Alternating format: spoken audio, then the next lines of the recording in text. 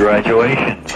You have reached the Corona DSO 592 exchange. Thank you.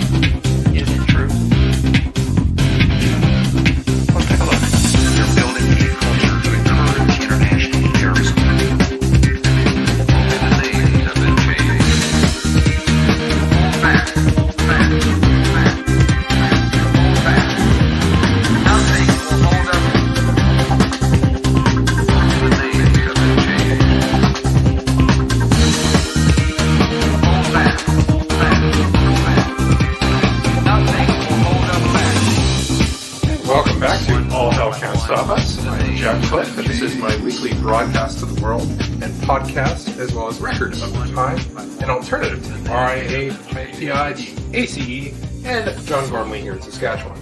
And today I have a special guest who was on a couple of shows ago, who I still haven't got the previous show up and running uh, after editing it. Graham, otherwise known as Thunder Bass on Instagram and elsewhere. Are you still there, Graham? Yes, sir. And Be back. Yeah, it's, it's it's nice to have you back. And so, right before we started, you had relayed to me this kind of creepy story that just happened to you this week. So, what is this thing that just happened to you? And let's start with that. well, I was getting dropped off somewhere at 2 in the morning, and I was just getting out of the vehicle, and I hear someone say, Graham. And I figured, okay, it's probably my neighbor or something. And so I said, what? And he goes, whatever. It's just my last name.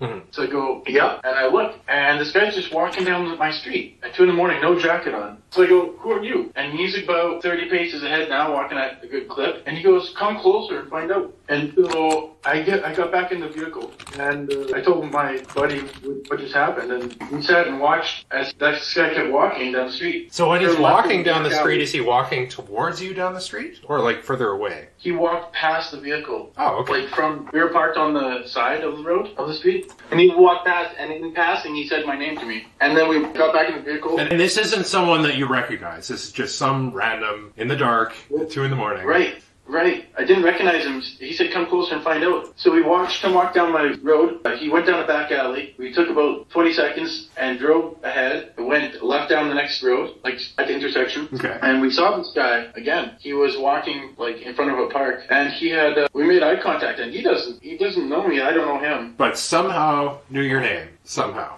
Yeah. And I mean, granted, as a musician who you played in front of probably a fair number of people, but even so, like if you're just going to one of your shows, would the people who go to your shows necessarily know your name? No, no. Like, I I don't think so. Some bands will like announce who's playing, you know, so and so's on bass, go play your solo for a second, and then so and so's on the drums, etc. But like, Yeah. even so, like They're- how many people pay attention to that? music, I think, than to like unless they really dig me or something, and they're like, "Oh, I want to like get to know that guy or something," which doesn't happen as often as you would think. I mean, Or- it, it is possible that he could have been a fan of yours, than just.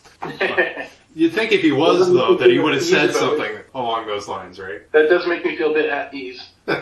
Maybe I was gonna say maybe he he heard our last podcast together. Also possible. There's definitely at least one person in Thunder Bay who has listened at least once. but uh, yeah, so hopefully uh, that's the last we hear of that particular creepy person, unless they are in fact a fan.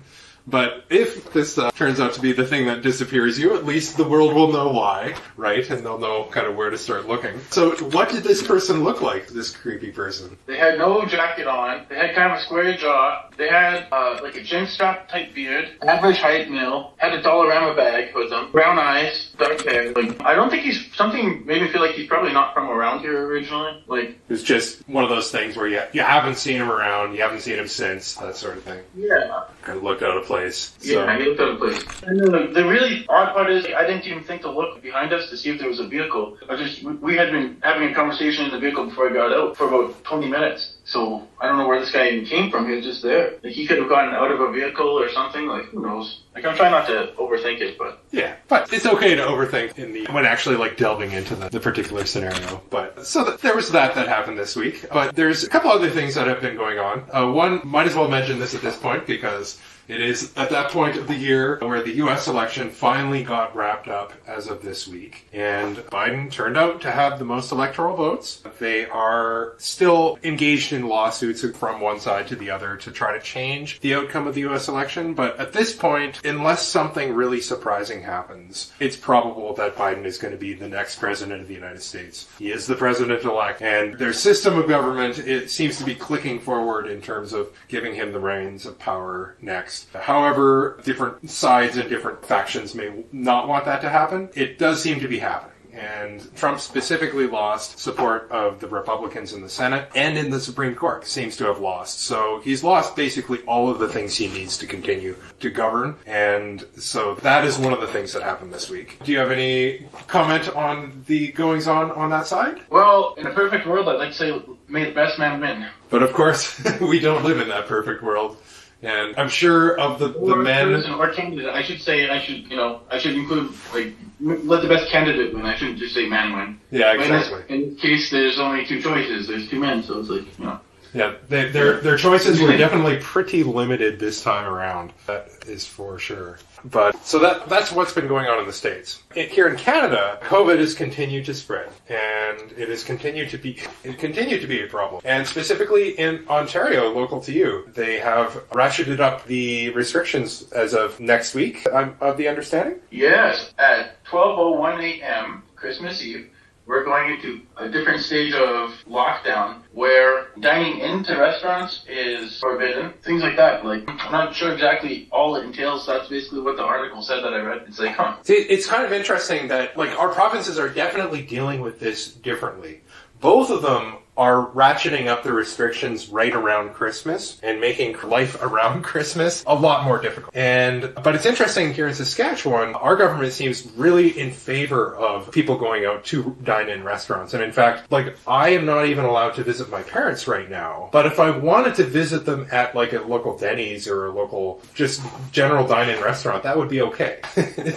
but I couldn't go to their house. That would be totally forbidden. Which makes Christmas dinner so much more complicated. And but so as far as going to other people's houses, are there any restrictions along those lines in Ontario right now? I'm not sure, but uh, just speaking about Christmas kind of reminds me how years ago there was a big, there's a lot of talk in the U.S. about the war on Christmas was like a big hot button issue, and like I'm wondering where those people are now. like, Well, especially like- since like their- it- this it- is basically their wet dream. Like, Yeah, exactly. And like that type of rhetoric tended to be more associated with the right side of the political spectrum. And Yeah. using it against the a-religious or more a-religious left side back in the previous spin of the culture wars a, a generation ago. And yet, here we are. Saskatchewan's a conservative province. Ontario is a conservative province. Uh, we've got the U.S. side is still conservative. It's like the entire restriction seems to be fiercest, at least on the conservative side. So when we have something that approximates a war on Christmas more than anything that has ever come before, it's a marketing term, to be honest, just so people galvanize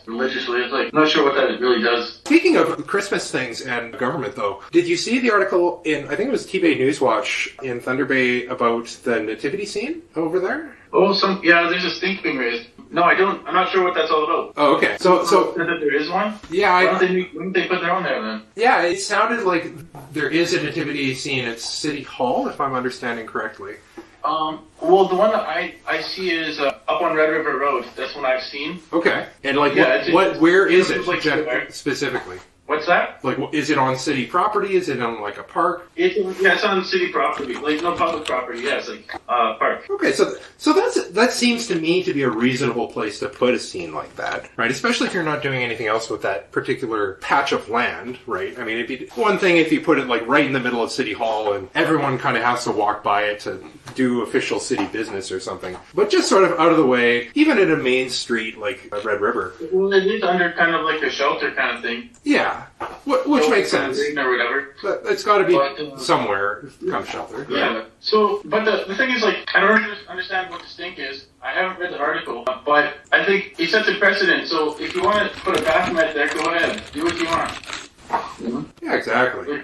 Decorate it. So when you're saying Red River, is it the one like right by the Waverley Library? That little triangle? Yes. The little uh Yeah. it's like a little like you said, there's kind of like a roof and so you're kind of sheltered from the, the elements a little bit there.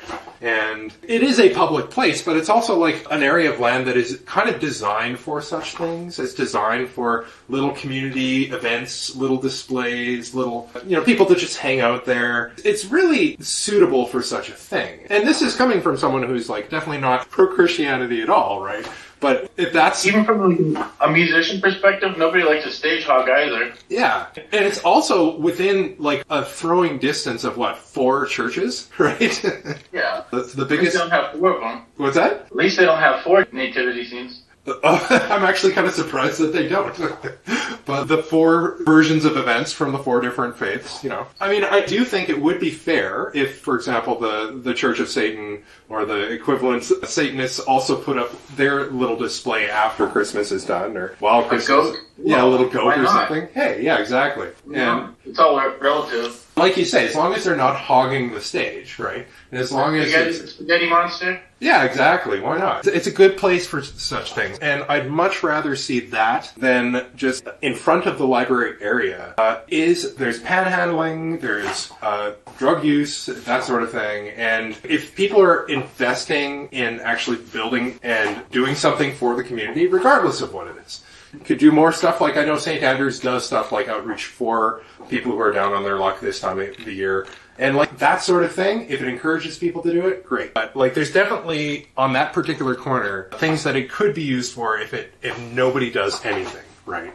And it's just a central location, so a good place for various projects. But anyway, so there's that going on this week. But you are also back to the, the lockdown though. So you can't go to dine in. Not sure about the visiting people side. Is there any other restrictions that you know about or that have been, I mean, other than the ones we talked about last show with the, the live venues and stuff? Well, yeah, they're saying like you should stay home. That's basically the bottom line. So like stay home instead of go out visit family for Christmas? Honestly, I don't know. I'm not very well informed on this new thing, the new stage we're in. No problem. But it's one of those things too, where the rules keep changing and people are expected to, to keep up with them, right? Like here in Saskatchewan, I heard that the fines were going up to over $7,000 per ticket, but someone also was saying that it's only 2100 or 2800 and so I could probably bring up, I've got the tab in front of me and I could look it up, but they keep changing the rules here at least, right? and so it's Yeah. kind of hard to keep up with them, even if you want to keep up with them, even if you want to understand what you're expected to do, right? Yeah, it's the definition of shifty. Like things keep moving around, shifting left and right. Oh, we're more free. We're less free. Like, Yeah, exactly. Not free in like a uh, political sense, but And so-. And so, like, I, I can sympathize with the people who are, at least here in this province, going out to protest, saying, oh, you know, our freedoms are being violated. Uh, we've got all these r- rules and restrictions on us. Like, I feel for them because everyone's getting affected by the same restrictions, right? But on the flip side, I want to go back to being able to, for example, go out and, as a musician, get up on stage and perform in front of people, right? I mean, there are other things keeping that from happening in my case, but I'm sure you would also feel the same on, on that side, right? Yeah, I can believe that. And so the only way we're going to get back to that is either through vaccines, as we talked about last show, or everyone not going to big house parties, not going to big busy bars and that sort of thing and spreading COVID around. And while you're doing what you're doing, I'm noticing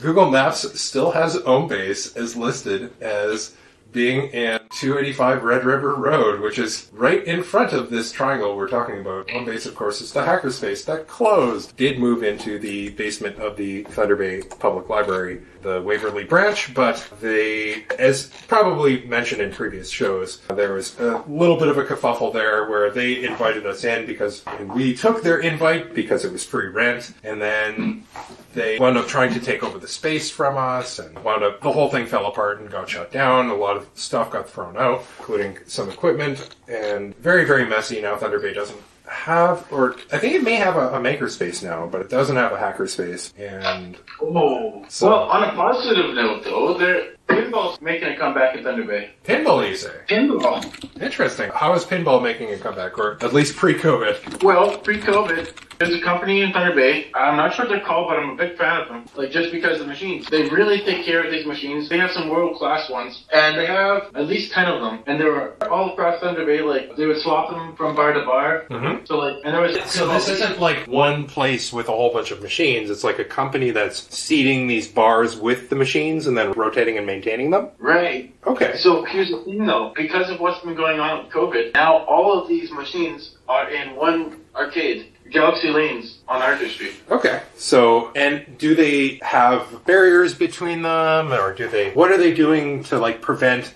the machines themselves from being the the COVID vector, or are they doing anything along those lines? Masks, hand sanitizer. They probably should have shields between them, but they have limited. Uh, they limit how many people go in. Okay. So I four at a time. Just like how dining room. Well, I don't know how it's going to be now. It's going to be closed, but like dining room rules where you could have four people sitting at a table max. See, it's an interesting idea, though, in terms of wiggling around the rules. Like, especially in a place like Thunder Bay, where up until recently you could go to a dining area, and a place like Saskatchewan, in that up until recently at least you could go to VLTs, right? And the government could very well clamp down on VLTs or clamp down on dining, but are they going to clamp down on pinball? Like, is pinball big enough? to be the threat that, that transmits COVID. It may very well just fly right under the radar and be one of those things where you can still do, and perhaps even do safely, because really, it should be possible to rig up a pinball machine to be safe to use, because it's a solitary activity. You're doing it by yourself. You could go play with friends, but you can just sit and play with a pinball machine for a couple of hours. That's also possible. So, that's definitely something to think about, uh, I think. Well, we think it's probably going to get shut down. To be honest, I'm not sure. But, But I like- would not be surprised. But even if they do get shut down, it still seems that it's possible that you could design a building around or like rig up a building so that everyone can go in safely, find their own pinball terminal and play it. Like it could be a possible renaissance thing, right? That if we're interested in having this kind of entertainment going forward, it would maybe cost effective. Who knows? Right.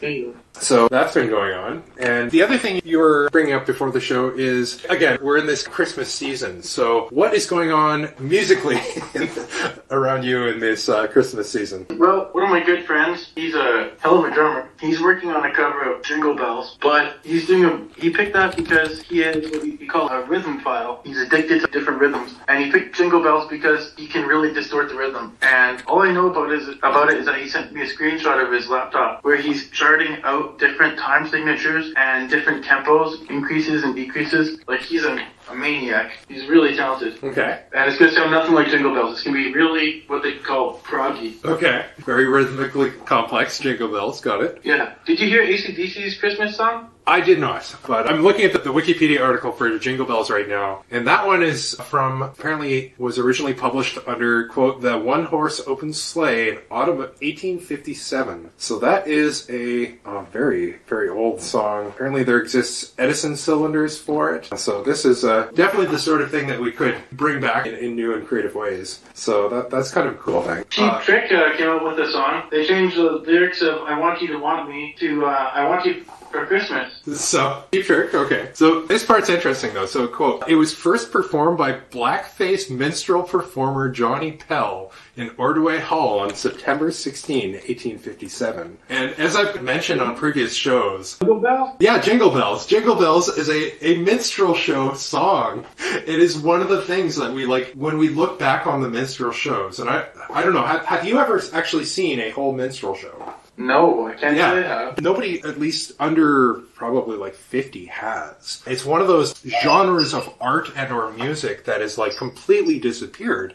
And not only is it completely disappeared, but there's a taboo on it in the United States and a fair amount in Canada. Not as much in Canada, but it's very, very taboo in the United States because of this very common use of blackface to portray African Americans in sometimes silly and derogatory ways, which is a fact. That's what they did. But when we look back on the genre, that there's a lot to minstrel shows. And something like Jingle Bells is one of those things that we forget came out of that. And we forget was also something that people could enjoy regardless of their color of their skin or their cultural background because it's just a Christmas song, right? I mean, again, from the anti, you know, not pro-Christianity side, there's plenty to not like about Christmas music, but lots of people enjoy Christmas music, right? I don't even think Jingle Bells is like a Christmas song. It's a, it's a winter song. Yeah, it's, it's a winter song, exactly. Yeah. And so there's this one of those just like little strands going into the those minstrel shows that this kind of represents, and it's interesting to bring out. Like I kind of liken it to the idea of a rock opera, and like the especially like the, the when it really like peaked in like the late 80s, early 90s with the big hair. You got Kiss. You had people uh, wearing really bizarre and highly sexualized sometimes costumes. And- what's that? David Bowie. Yeah, David Um, Bowie. Like when the next um, generation looks back on that generation, is it going to make sense at all? Like, what are they going to think of those weirdos who did that? But I mean, it was there were there was a lot of awesome music that came out of that, and uh, so it's, I think the same sort of thing happened in that case too. And it looks like Jingle Bells is kind of an example of that. You were saying though of uh, so there's the drummer with the Christmas Jingle Bells. What else is going on in terms of uh, that sort of thing? Oh, like, am I doing a Christmas cover this year? Uh, wow. No. So why are you not doing a Christmas cover? I never really sat down and thought about doing one yet. Okay. I have to find one that doesn't have a bad history. so Jingle Bells, that one's off.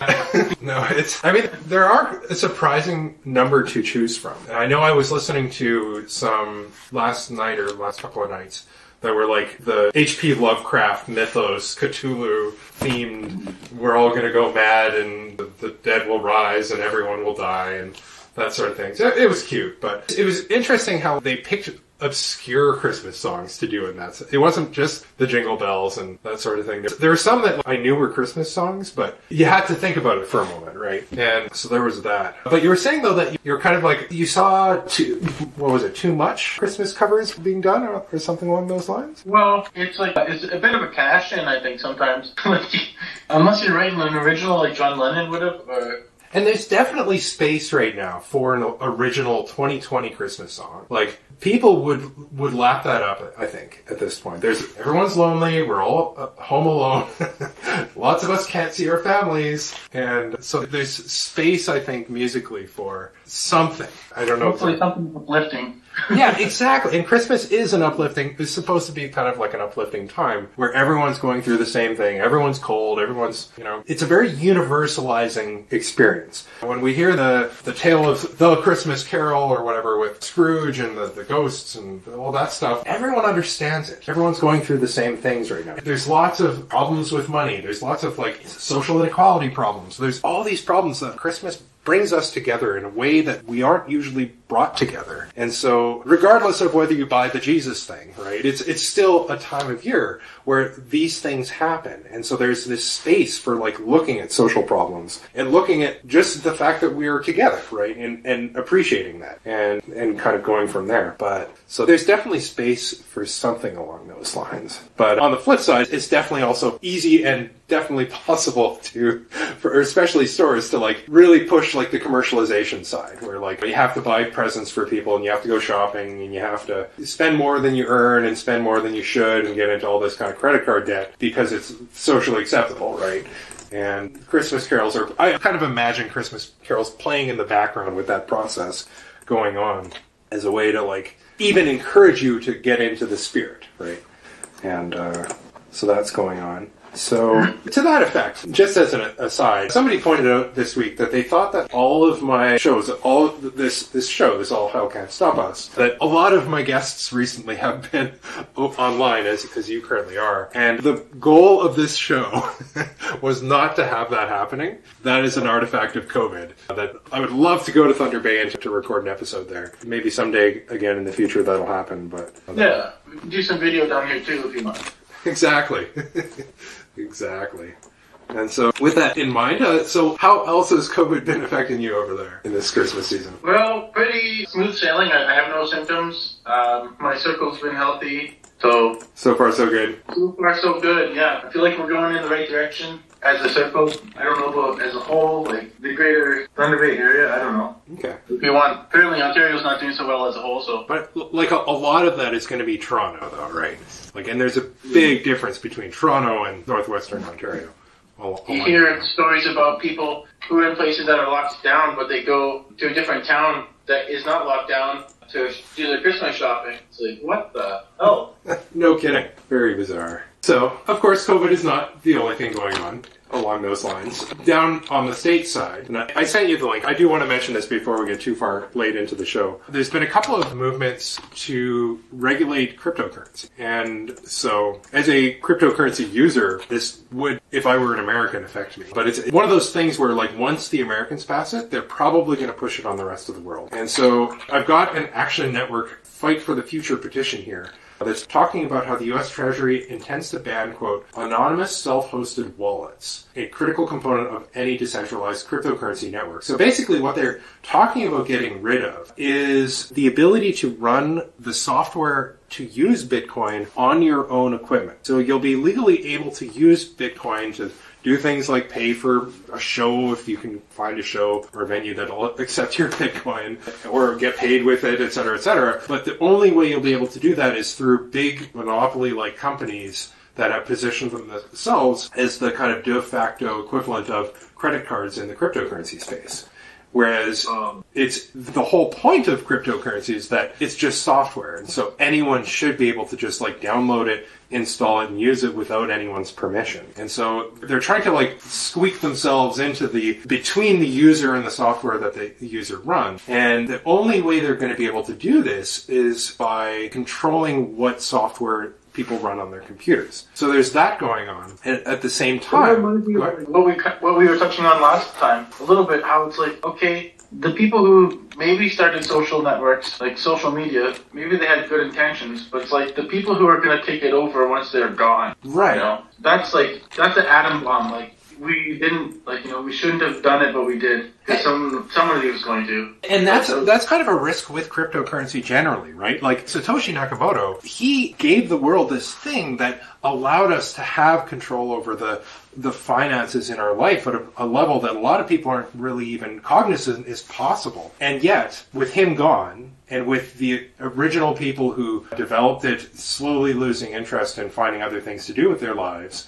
or just getting wealthy and not having anything to do with it anymore. Like, unless you have that level of engagement, keeping the system honest, there are going to be bad actors that are going to come in and force it to be something closer than uh, to a Big Brother 1984-esque machine for tracking people. And Bitcoin is fully capable of doing that if people don't use it properly. So, so there's that going on as well.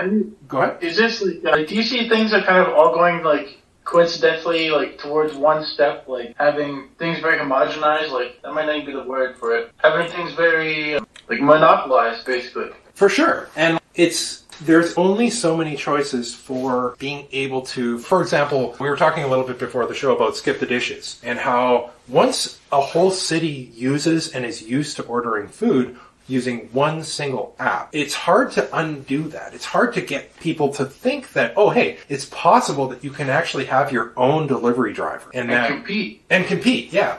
And it's because now with Skip the Dishes having so much market share, and same thing with MasterCard, same thing with Visa, it's hard to imagine that at one point they were just small companies and they had to grow to the scale that they, they are now currently at. And if you started a new MasterCard or a new Visa or something like that, like nobody would want to use it because you'd be competing against these giants. And so right now there's this little glimmer of the possibility that you could build something without the permission of Visa, without the permission of MasterCard or Square. And you didn't have to go to the big banks to be funded to do this. You could just build it. And if it works, it works. But we're constantly at risk of that era ending, especially with this sort of thing going on. And uh, yeah, there was one other thing. I'm just going to see if I can find. Oh, here we are. It's an article by Vice about, quote, students are rebelling against eye tracking exam surveillance tools. And it's the same kind of thing where like there's only so many companies that are offering anti-cheat software and they're kind of buying the other companies out, etc. And it's getting to the point where like, they're so widely accepted that the technology in your life is it's okay for it to be spying on you that they're pushing to actually uh, make it not allowable for students at least to use regular desktop computers because regular desktop computers don't have this spyware or at least their spyware built into it and so have a feeling that this article might be a red herring. yeah Yeah, in a sense, because even if you use like a filter, an innocent filter, like it w- sometimes do track where your eyes are going. Like you can blink and like move your eyes around. Mhm. So in a sense, like it's kind of like when the FBI said, "Well, Apple's not going to give us the back door to the iPhone," where it's like, but even like a tech savvy kid in high school could figure that out. Well, uh, or at least the more advanced cracking labs, things like the hacking team, there were exploits for the iPhone that were on the market at that time. And I mean, the they're claiming not to be able to get into those phones was sketchy at best, even when they were making that claim. But uh, Yeah, so this might be a, a similar thing. I have a, a gut feeling. and there's certainly like, like, th- for example, all of the students that the, this Vice article and in general are going to be talking about are going to be using Windows. And Windows itself does have spyware built in, and it's available for at least the U.S. government and people with the ability to compromise Windows. But your university won't necessarily have access to this, and your your neighborhood university security guard won't necessarily have access to this, but they might have access to this Proctorio. And they may, with Proctorio, this company having the layer of control over your computing environment, they can also prevent you from running other things like the wrong kind of compiler, the wrong kind of analysis tools for your own understanding of what's going on in your own computer.